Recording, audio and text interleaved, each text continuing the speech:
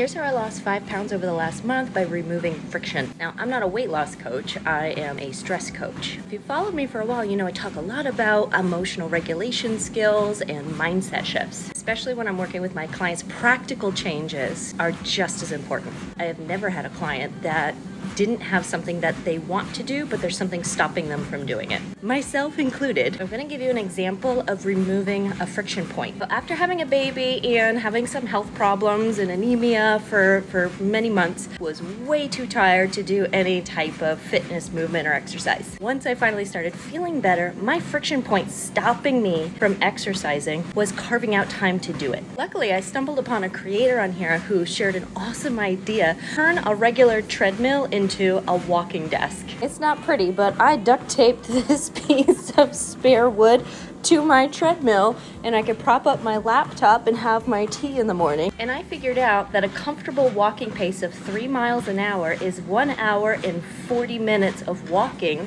while working to get to five miles. Five miles is roughly 500 calories. You do that seven days a week, that's 3,500 calories. 3,500 calories is about one pound. I'm working while walking, the time just flies. I didn't add any extra time to my day. Friction point eliminated. Let me know, do you want to hear more examples of removing friction points so you can do the things that you know you really want to do?